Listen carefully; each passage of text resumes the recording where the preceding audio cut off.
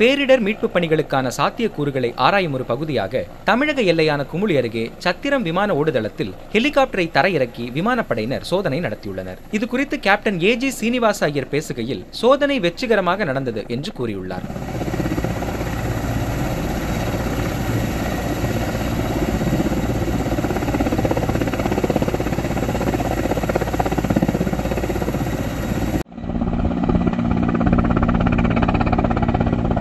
ordenarlo.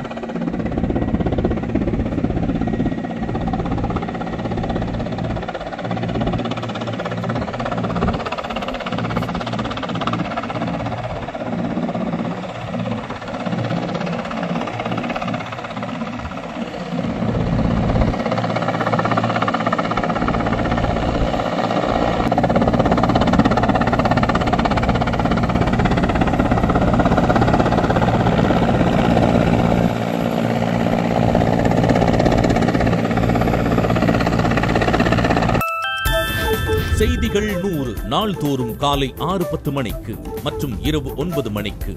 நமது news Tamil தொலைக்காட்சியில் காண தவறாதீர்கள்.